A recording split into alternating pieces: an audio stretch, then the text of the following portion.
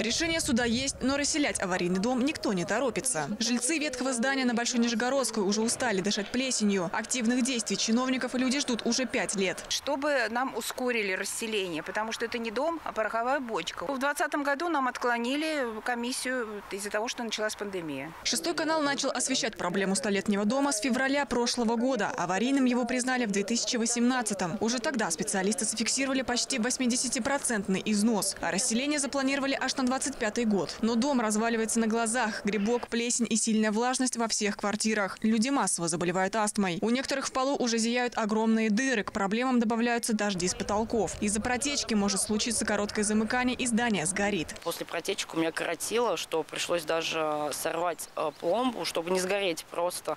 Э, Нам пришлось снять этот счетчик э, и устранять вот, ну, задымление. У нас просто был ужас. Также в пятой квартире у них то же самое. У них даже, ну, до сих пор вот у нас стены не просохли. Они сырые э, именно в тех местах, где находятся приборы. Жильцам предложили маневренный фонд на улице Фейгина, Гастелла и Луначарского. Но они отказались. Люди говорят, косметический ремонт, который провели в предоставляемых квартирах, не продержался и двух недель. Обои в стыках отошли на несколько сантиметров, а линолеум сам по себе начал задираться. Кроме этого, в некоторых помещениях невыносимо холодно. Квартира на первом этаже. Квартира очень холодная.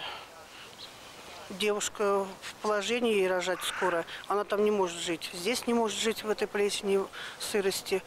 И там не может жить в этом холоде, живет у бабушки. Пол очень холодный. На подоконнике у нее даже вот вещи лежат, ну, вещи, они примерзли к подоконнику. После нашего февральского репортажа в марте к жителям пришел бывший облпрокурор Владислав Малкин. В итоге прокуратура направила иск в Октябрьский райсуд с требованием обязать мэрию переселить жильцов в новые квартиры. В августе суд вынес положительное для людей решение. Власти попытались обжаловать вердикт и проиграли. Но прошло уже несколько месяцев, а люди так и задыхаются в старых квартирах. Люди записались на прием к новому мэру Дмитрию Наумову, но встретился с жильцами его зам. Тот пообещал, что расселение начнется в ближайшее время. Это что касается жильцов муниципальных квартир. мы должны их э, переселить. Сейчас такие квартиры подобраны, но при, поскольку по закону мы должны их э, переселять людей при- э, в квартиры, которые обустроены всеми удобствами и находятся в надлежащем состоянии, не требуют ни текущего, ни капитального, тем более ремонта. Сейчас э, мы эти квартиры приведем в порядок, я думаю, в течение ближайшего месяца. И если никаких у нас сбоев не произойдет, то в марте месяце мы